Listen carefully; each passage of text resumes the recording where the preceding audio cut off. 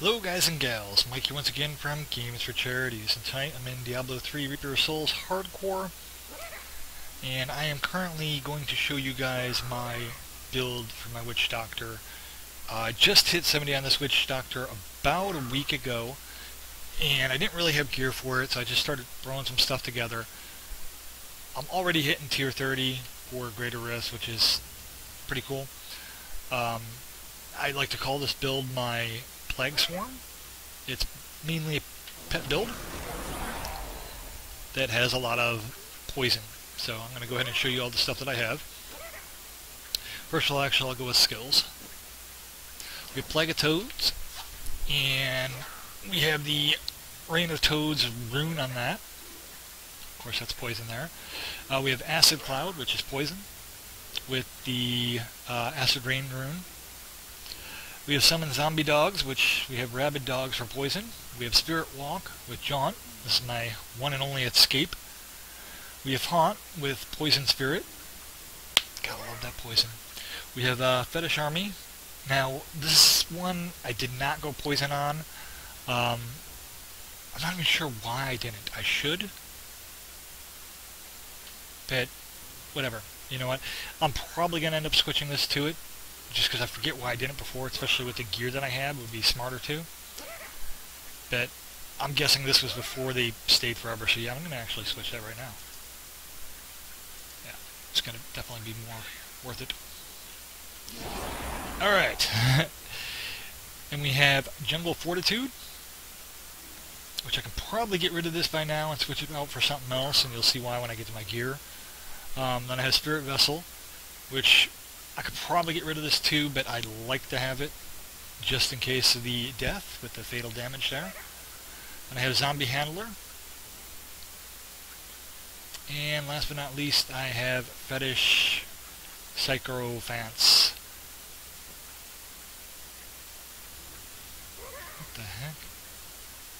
Oh yeah, that's right, okay. So there's my skills there. Now here's what I have for items. Now this is obviously something I want to replace here. This helm, I really love it. Um, I plan on using this in the transmog thingy, you, know, so I can use this as a skill. Uh, once I find another helm that I want. The helm that I actually want to replace this with is the one that lets the uh, minions, gives you your minions 200% damage increase. So I'm really looking for that helm because uh, 200% more damage from my minions would just be crazy. Then we have uh, Mara's Kaleidoscope. I don't want to keep this, but this is currently what I have. It was the best thing that I could find, so I've got it for now. Uh, this is another thing. I don't want to keep it, but it's what I have for now. Now, four pieces of this really helps, um, especially because when you get the four-piece set, you and your pets take 2% less damage for every fetish you have alive. So I now have seven fetishes alive. Once uh, because of my skill, once I go and attack, I'm going to get 15 more. So with that, that's 22. That's going to be 44% less damage my pets and I take. Which is pretty freaking crazy. Um, see, I can actually get rid of this because everything. I'm not sure if they stack. I don't think they do. I'll have to check with my skill. I'm not sure what the maximum is. Uh, if it is 15 with just that skill, then I actually don't need this. But I originally started off with this and then later on switched that with that skill. Um, we have the gloves here. Ring. The pants.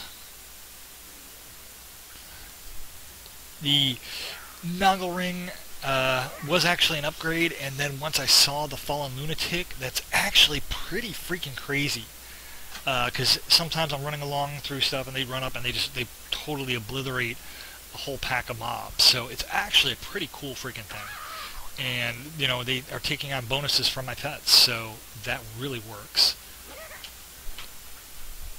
Have this. I used to have a weapon that summoned, I forget what the heck, that summoned the five skeletons, and then they blew up. Um, but this was a major upgrade, so I went to this. Then the boots here, which this is not something that I want to keep, but what I had at the time. And for My gems, I have the Enforcer, which is currently rank 30. I have uh, the Toxic, which is rank 30. Again, that's poison, and poisons all enemies for 350% weapons damage. And all enemies you poison take 10% increased damage from all sources. So that's just, you know, crazy. I do want to start also getting items that have bonuses to poison, seeing I am all poison. And the last ring I have is the Stone of Vengeance, which I get 5.3% damage for every 10 yards between me and them. Um, I also have a 20% chance to stun them. Now, I pretty much stay at range and just let these guys tank. I use Spirit Walk if I need to to get away. Uh, Haunt is really nice, especially when you get to, you know, single bosses at the end of, you know, rifts. That really helps. Uh, P-level wise, you can just see here, I mean, you can do whatever you want with it. Um, attack speed and cooldown reduction are nice. Actually, cooldown reduction isn't really as important anymore because I just need it for Spirit Walk, and that's almost never on cooldown. So I can actually switch that around and increase this up, which I will do shortly. Resist all always important. I have this here. So I do not have Unity yet. Once I get Unity, I think I'm going to be a lot tougher. I will uh, definitely be able to do Torment 8, which I think I probably could do now. It would be, you know, risky. Um, but once I have Unity, I think I could easily go through 8 and, you know, possibly go through 9. So, I'll go ahead and show you the Kanai's powers down here quick. So currently I have Convention of Elements, which really is awesome, especially when it comes up on Poison. 200% increased damage to a single element. Um, running Torment 7 when this is active, and I use my uh, Acid Rain as a cloud, this lots of times will instantly kill the whole pack that I'm just doing it on, which is pretty awesome. Um, I have Ice Climbers, which, um, like I said, I want to switch that out with the Helm here. And then for my weapon, I currently have this here, which I'll probably end up finding something else better for this guy. Uh, wow, like see that right there would actually be better for me if I wanted more survivability. I mean, there's quite a few things that I could actually do. Um, but anyways, guys and gals, that's the pretty much gist of it. And you can check out some of my other videos if you want to see me using this guy. It's a pretty fun build, uh, pretty good build in my opinion. I don't know, I don't usually get on the forums, so I'm not sure what, you know, is currently used and what isn't. And there's my potion right there. For my follower, like I said, he doesn't have Unity. He's got all skills. I do want to have get Unity and get the thing where he doesn't die. Um, I need to get a better weapon. Like I said, oh my gosh, necklace is really outdated. Ring's really outdated.